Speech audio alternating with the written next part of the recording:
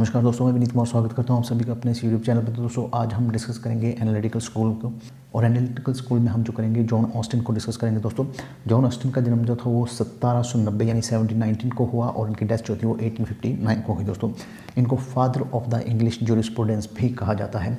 यानी कि जो इंग्लिश सेटअप था हमारा, जो लॉ का, यानी कि ब्रिटेन का सेटअप था, उस पर इनका बहुत ज़्यादा प्रभाव था, इनकी थ्योरी का बहुत ज़्यादा प्रभाव था और इनकी थ्योरी जो थी वो भी जर्मी बेंथम से काफ़ी ज़्यादा इंस्पायर थी।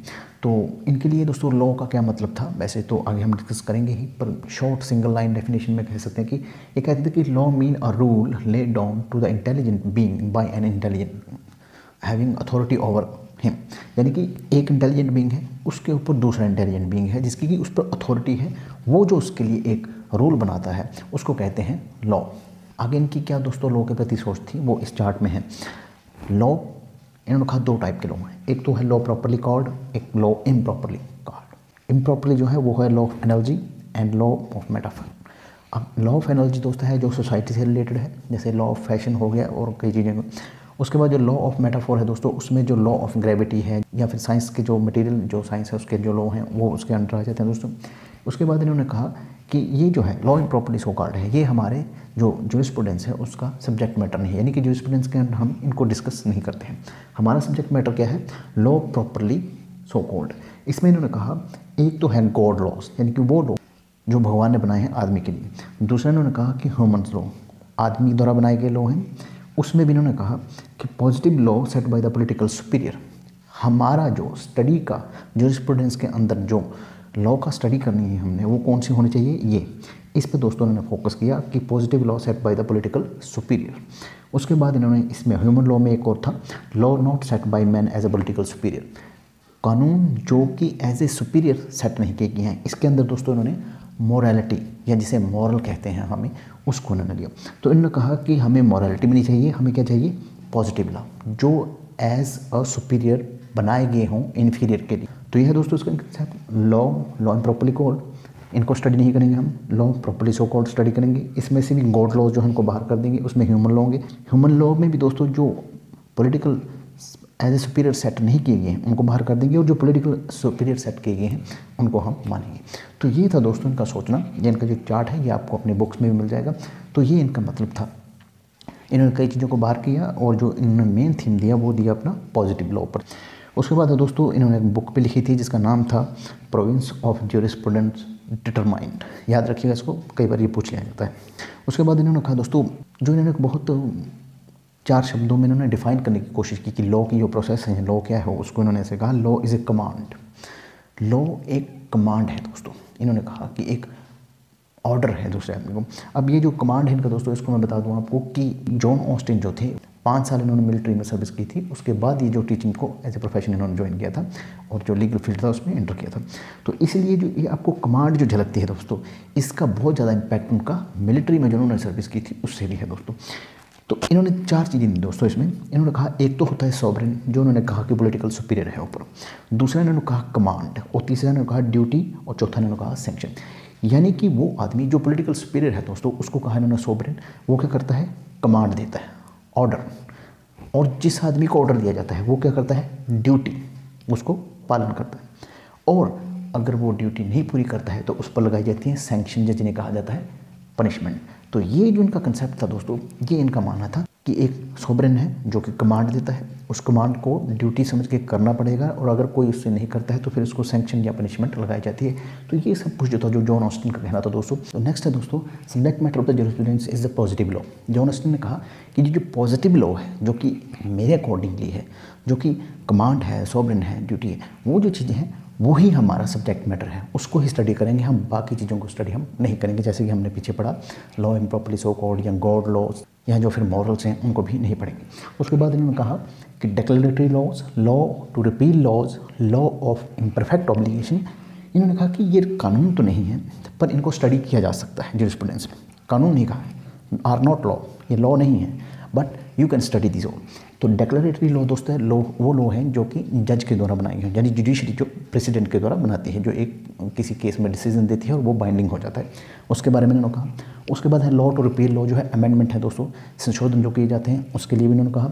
और लॉ ऑफ़ इम्परफेक्ट ऑब्लिगेशन जो है, वो जो है हमारी मोरलिटी है, या एथिक्स है, उसके बारे में। तो उन्होंने कहा, ये तीनों जो हैं, इनको स्टडी किया जा सकता है, पर ये लॉ नहीं है। No place for the justice और मोरालिटी और एक बहुत बड़ी, सबसे बड़ी अचीवमेंट जो है दोस्तों जॉन ऑस्टन की कि इन्होंने जो जस्टिस और मोरालिटी का कॉन्सेप्ट है, वो बाहर कर दिया लॉ से। उन्होंने कहा कि ये हमारा सब्जेक्ट मैटर नहीं है। जब हम लॉ की बात करते हैं तो हम सिर्फ़ प्योरली लॉ की बात करें मॉरल और जस्टिस को हम उससे बाहर कर दें। उसके बाद है only legal system of the civilise society are proper subject matter of the jurisprudence importance of Austin's work is separation of is from out जैसे कि मैंने अभी कहा आपको कि सबसे बड़ा जो बेनिफिट दिया ऑस्टिन ने अपनी थ्योरी के द्वारा, जो इन्होंने लॉ को मॉरल से बाहर कर दिया। जैसे कि हम माने दोस्तों, अब आईपीसी के अंडर जो लॉ है, वो एक लीगल ऑब्लिगेशन है, वो लॉ है इज़ है। उसके अंडर आपको तरह तरह के क्राइम बताए गए हैं दोस्तों तो उसमें कहीं भी मॉरलिटी नहीं है। ऐसा नहीं है कहीं लिखा गया आईपीसी के अंडर कि आपको कि आपको अपने पड़ोसी की मदद करनी चाहिए। अगर वो, उसे, अगर उसे किसी पैसे की ज़रूरत हो या भूखा हो या किसी तरह से और कोई कमी हो तो आपको मदद करनी चाहिए। ऐसा कोई नहीं कहा गया है पीछे तो ये जो सारी देन है दोस्तों, ये जॉन ऑस्टन की है उन्होंने कहा कि इसको इससे बाहर कीजिए। His positivistic approach benefit king plus company अब सवाल ये था कि इनकी जो अप्रोच थी लोगों को, उसका बेनिफिट क्यों, किसे हुआ? तो वो बेनिफिट दोस्तों किंग या क्वीन जो भी होते थे इंग्लैंड में प्लस कंपनी जो उनका एक कैपिटलिस्टिक वर्क था या जो एक उनका बिज़नेस करना या ट्रेड कमर्स करना, उनको बेनिफिट हुआ क्योंकि वो जो थे, उन्होंने इनकी थ्योरी के बल पर ही बाकी जो जितनी उनकी कॉलोनीज थी, जो उनकी जो अंडर कंट्री थी, उन पर रूल किया। जैसे उन्होंने हमारे लिए भी कानून बनाए आईपीसी से लेके सीपीसी से लेके एविडेंस एक्ट से लेके और कॉन्ट्रेक्चुअल लॉ बनाए। तो वो देखा जाए तो उन्होंने अपने फ़ायदे के लिए ही बनाए। यानी कि जो देन थी वो ऑस्टन की थी। ऑस्टन के कंसेप्ट को उन्होंने इम्प्लीमेंट किया हमारे ऊपर अपने जो एम्पायर था उसको एक्सपेंड करने में। तो इसका बेनिफिट किसको गया? किंग प्लस कंपनी को, याद रखिएगा। और दोस्तों, जो हार्ट जो एच एल हार्ट हैं, जो एक एनालिटिकल प्लस नेचुरलिस्टिक जुरिस्ट थे उन्होंने कहा कि जो ऑस्टिन ने जो सिचुएशन बताई है लॉ के अंडर वो इस तरह से है कि जैसे कोई आदमी जो गन मैन हो, किसी को गन पॉइंट पर कहता हो कि गिव मी योर मनी और योर लाइफ कि मुझे यहाँ तो अपना पैसा दे दो या ज़िंदगी दे दो। तो यानी कि उन्होंने इस तरह से उसको कंपेयर करने की कोशिश की है कि आस्टिन जो है बहुत ही हार्ड है जो लॉ के मामले में। उन्होंने कहा कि कोई मॉरल नहीं, कोई जस्टिस नहीं, सबको बाहर किया जाए और सिर्फ़ कमांड और सेंक्शंस यानी कि पनिशमेंट होना पनिशमेंट का होना बहुत ज़रूरी है। अगर पनिशमेंट नहीं है तो आपका कानून जो है वो बेकार है, उसका जो पर्पस है वो नहीं हो सकता वहाँ।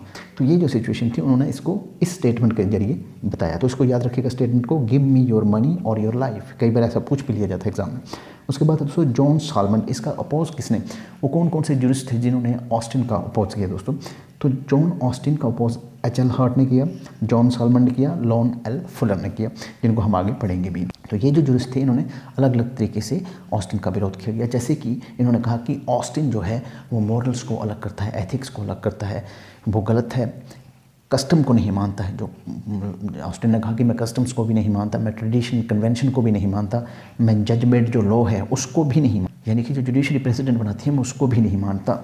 और जो उनकी आलोचना की दोस्तों, उसमें कहा गया कि जैसे कि ऑस्टिन कहते थे कि सिर्फ़ कमांड ही वहाँ होनी चाहिए कमांड को ही लोग मानते हैं तो ऐसा भी नहीं है। कमांड ही हो या कमांड को ही माना जाए, ऐसा नहीं होता है। कई और भी चीज़ें होती हैं जिससे कि सुधार किया जा सकता है। पनिशमेंट को भी उन्होंने नेसेसरी माना कि पनिशमेंट भी वहाँ होनी चाहिए। पनिशमेंट की भी आज जो हमारा मॉडर्न जो है, जो मॉडर्न स्टेट है, उसमें रिफॉर्म करने के भी कई तरीके हैं, जो क्रिमिनल्स को सुधार किया जा सकता है उसमें। जैसे कि हमारी डेथ पेनल्टी कई जो यूरोपियन कंट्री हैं, उन्होंने अबॉलिश कर दिया, ख़त्म कर दी है। तो ये सब जो चीज़ें हैं इन्होंने कहा कि ऑस्टिन का जो कंसेप्ट था, वो बहुत ही हार्ड था, बहुत ही टू द पॉइंट था और बहुत ही वो मतलब एक नैरो माइंड या कंजर्वेटिव होकर बात करते थे कि नहीं भाई, ये कमांड है सॉबरन है, ये ड्यूटी है सेंक्शन है, इनके बिना काम नहीं चल सकता। तो उन्होंने कहा कि ठीक है भाई, कुछ हद तक तो वो ठीक थे, पर बाकी चीज़ों को उनका निगलेक्ट करना या उनको सेटिसाइड करना या कंप्लीट उनको कहना कि भाई ये तो कुछ है ही नहीं, वो जो चीज़ थी, वो कुछ उनको नहीं लगती थी कि ये प्रॉपर है।